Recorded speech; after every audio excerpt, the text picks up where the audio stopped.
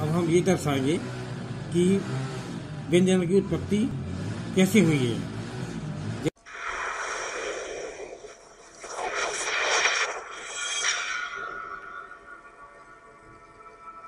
जैसे टा टा ऊपर से नीचे बनता है और साइड में ये हो गया का। और इसी में ये ये स्थिति होती है चा की इसको बनाते हैं ऊपर से नीचे। और ये पोजीशन है रा की ये बनता है इस दिशा में। और एक ये पा बनता है, ये बनता है ऊपर से नीचे। इस प्रकार से व्यंजनों की मूलतः उत्पत्ति हुई है। ये सभी सरल रेखाएँ हैं। रेखाएँ सरल रेखाएँ कहलाती हैं। अब हम वक्र रेखाओं को, उनकी उत्पत्ति कैसे हुई है, ये दर्शाएँगे। जो वक्र रेखाएँ कहलाती हैं, जैसे, इस गोले को यदि हम क्रॉस के रूप में काटते हैं तो ऊपर की तरफ़ जो है, बनता है माँ। नीचे की तरफ़ बनता है ना। बाजू में ये बाएँ वाला ता। और इस तरफ़ बनेगा दाएँ वाला ता। ता दाहिने वाला।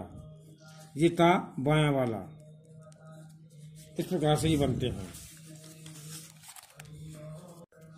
यदि हम इस गोले को प्लस के रूप में डिवाइड करते हैं तो ऊपर की तरफ़ जो है, ये बनता है ला। ये ऊपर, नीचे से ऊपर ही बनता है। और ऊपर से नीचे ही दोनों दिशाओं में बना सकते हैं। और ये है वक्र रेखा वाला रा। ये ऊपर से नीचे बनाया जाता है और साइड में आते हैं सा। सा बाएँ वाला ए, नहीं नहीं। सा दाहिने वाला और सा बाएँ वाला। ये इस प्रकार से तीर की दिशा में बनाए जाते हैं। के इस वीडियो में हमने देखा अक्षरों की उत्पत्ति किस प्रकार हुई है, उत्पत्ति के स्थान को देखकर अक्षरों के संकेत याद करने में आसानी होती है। ये फार्मूले की तरह हैं। आज के लिए इतना ही। अब मिलते हैं अगले वीडियो में। तब तक स्टेनोग्राफी की अच्छी तरह प्रैक्टिस कर लीजिए, ताकि आगे आने वाला चैप्टर आपको अच्छी तरह समझ में आ सके। यदि आपको यह वीडियो पसंद आया हो तो वीडियो को लाइक करें और इस चैनल को सब्सक्राइब करना ना भूलें, ताकि भविष्य में आने वाले वीडियो आपको मिलती रहें।